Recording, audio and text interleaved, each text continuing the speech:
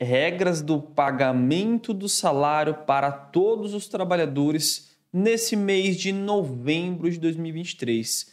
Meu amigo trabalhador, se você trabalha com carteira assinada, saiba que todos os meses a gente fala aqui um pouquinho sobre o pagamento do salário, principalmente a regra do pagamento que muda cada mês. E nesse vídeo eu te explico tudo sobre o salário se a empresa é obrigada a dar o lerite, quando que a empresa tem que pagar o salário. Também a gente fala um pouquinho, uma dica extra, uma aula extra sobre o lerite para você entender esse documento. Fala um pouquinho também sobre pagamento por fora do salário. Tudo isso nesse vídeo, então vale a pena ficar até o final. Oi, gente, aqui quem fala é Rodrigo, sou advogado, sou especialista em direito do trabalho advogado atuante em todos os estados do Brasil, você trabalhador que quer ali resolver a sua questão trabalhista, você pode nos contratar e você trabalhador já vai deixando para mim nos comentários se você já recebeu o pagamento do seu salário nesse mês de novembro de 2023 ou se você não recebeu, deixa para mim nos comentários, porque agora a gente vai falar sobre as regras do pagamento do salário. Lembrando, já vai acompanhar nosso Instagram, Rodrigo Galatia DV. Semanalmente tem muito conteúdo para você, trabalhador. E vamos aqui para as informações do salário. Gente, eu sempre costumo iniciar falando de como é que funciona o pagamento. Por quê? É assim, gente, o pagamento do salário ele deve acontecer até o quinto dia útil do mês seguinte ao mês trabalhado. Então, vai receber salário o pessoal agora nesse quinto dia útil de novembro, quem trabalhou no mês de outubro. A regra é sempre assim: você trabalhou em um mês, até o quinto dia útil do mês seguinte, tem que ter o pagamento do seu salário. Nesse caso aqui, o pagamento no quinto dia útil de novembro é referente ao mês de outubro trabalhado. E aí, gente, quando que tem que acontecer o pagamento do salário nesse mês de novembro de 2023? A data final para a sua empresa pagar o seu salário é até hoje, dia 7 de novembro de 2023. Por quê? Hoje, dia 7 de novembro, é o quinto dia útil do mês. Como assim, Rodrigo? Você conta os dias úteis levando em consideração o sábado, mesmo se você não trabalha, o sábado ele é contado como dia útil. E além disso, você também vai levar em consideração aqui eventuais feriados que tenham ali que, óbvio, esses dias de feriado não é contado nessa contagem de dias úteis. E em novembro temos um feriado no dia 2, conta o sábado e o quinto dia útil dá até hoje, dia 7 de novembro. Por isso, o seu patrão tem até hoje para fazer o seu pagamento do salário referente ao mês de outubro trabalhado e deve ser pago até o quinto dia útil de novembro, que seria hoje. Inclusive, falar para mim nos comentários se a sua empresa paga corretamente o seu salário até o quinto dia útil. Rodrigo, mas e se a minha empresa atrasar, não pagar nesse quinto dia útil, não pagar no dia 7?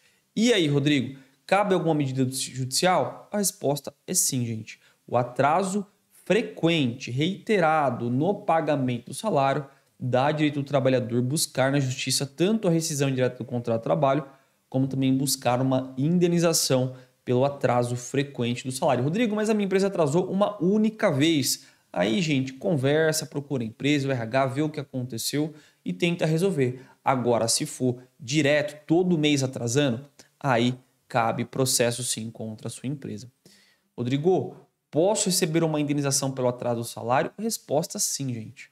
Atraso frequente no salário dá direito do trabalhador buscar na justiça uma indenização por danos morais. E um detalhe é o que, gente? Tem muita empresa que faz lá o pagamento do salário, mas além disso, paga valores para o trabalhador fora do lerite, valores que não integram lá o contra-cheque do trabalhador. É o famoso pagamento por fora.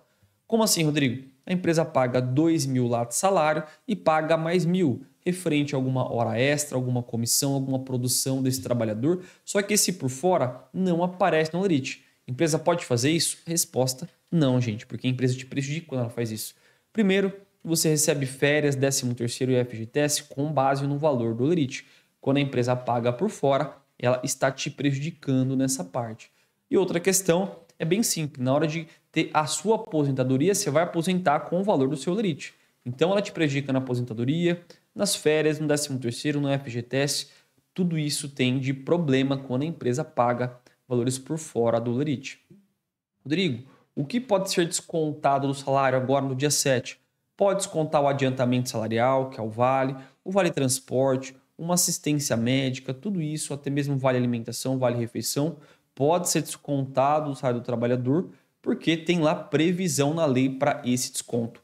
Só que para você acompanhar os descontos, a sua empresa é obrigada a fornecer e a entregar para você, trabalhador, o seu olerite. Inclusive, deixa para mim nos comentários se você recebeu o olerite nesse mês de novembro, referente ao mês de outubro trabalhado.